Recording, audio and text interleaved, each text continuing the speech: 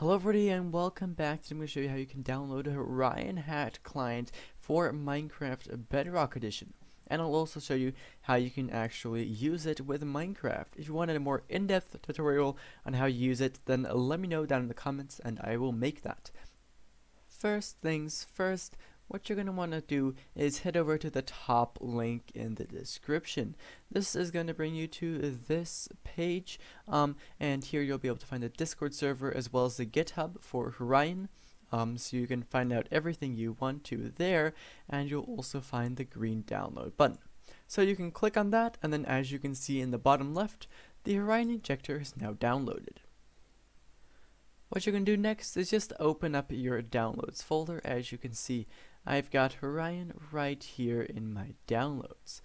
Then you can double click on that and uh, that'll open this up right here. This is the um, Horion application or something.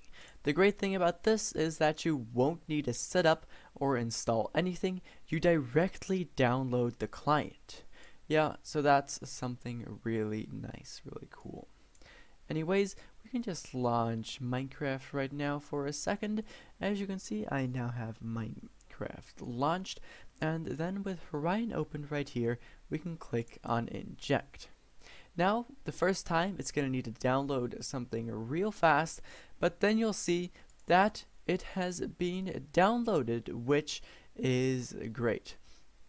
And here you'll see a changelog for the latest version of Horion.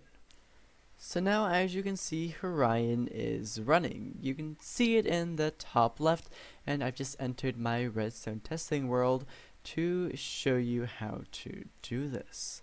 Anyways, um, to actually use this, what you're going to want to do is open up the chat and then you want to type in dot bind then click GUI just like that. Make sure you spell everything correctly and then you want to press any key whatsoever. I recommend you to use Y because that's the key. Um, I use for this and that's the key. You can also use to do this and basically whatever key you choose for this um, as you can see the click the keybind of click GUI is now Y. We can now press Y and that's going to open up the click GUI and here we can select any hacks um, deselect them and stuff like that. Um, there's a whole bunch of them. I recommend you guys to just play around with that and um, test them all out for yourself. Most of them are pretty um, self-explanatory. Anyways, um, if you want further explanations, then of course I will make a video on that. And now do remember guys that this is only uh, for use in personal worlds and also in personal servers with permission um, don't go on featured servers or stuff like that and start hacking because you will get banned and it's obviously not allowed.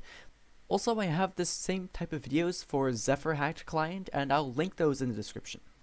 Anyways, um, that's basically how to use Horion for now. Thank you guys ever so much for watching and I hope to see you again in the next one. Bye bye.